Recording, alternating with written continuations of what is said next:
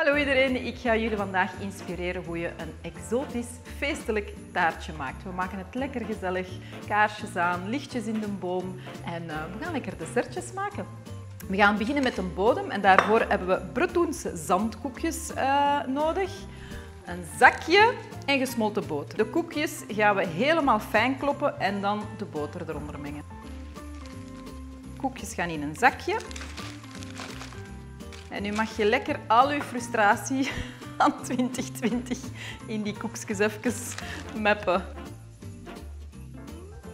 En je ziet, ik laat het zakje open, want als je dat toedoet, dan ontploft dat. Hè. En dan liggen nu koekjes gans in de keuken. Voilà, alles is mooi fijn. Een beetje een, een crumble zo. Hè.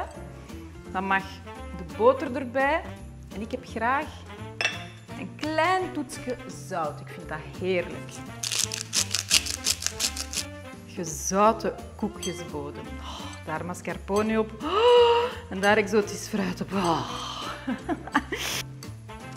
Bubbelt, schoon vlak en nu schoon rond verdelen. En nu is het heel belangrijk goed aandrukken, zodat je weer een strakke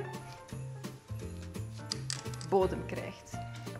Voilà, dat gaat niet in de oven, maar gewoon opstijven in de koelkast. Dan gaan we nu de mascarpone dat we erop gaan uh, smeren klaarmaken. En dat is simpelweg mascarpone met passievrucht. Voilà, de hubby in beeld. Het is echt feest, want die gaat er niet veel zien. Ze.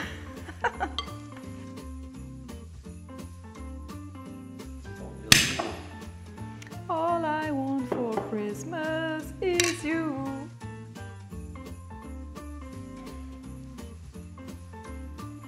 Hij is al weg zo.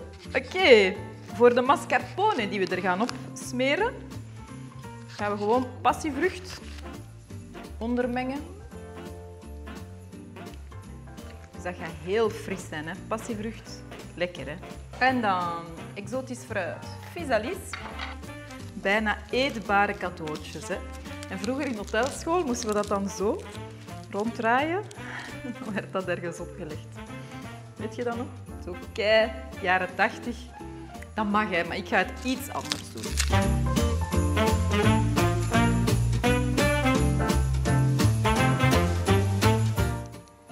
En niet vergeten te dippen. Hè.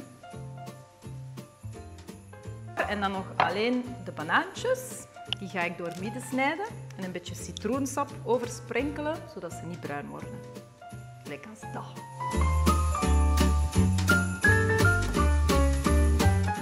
Oké, deze is opgesteven. Voilà. Dat gaat er van onder. Dit gaat er nu in. Die gaan we mooi gelijk verdelen.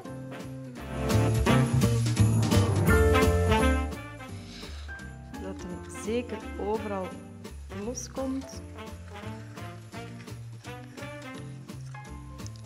En dan voorzichtig klein stressmomentje Goed, openklikken. Tada! Nu is het uh, helemaal zen schoon gaan versieren. En dan boordevol visalis. Je mag hem feestelijk pimpen hoe je wil.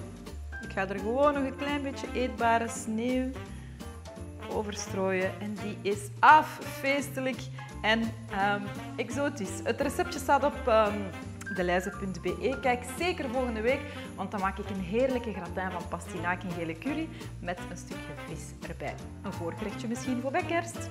Bye!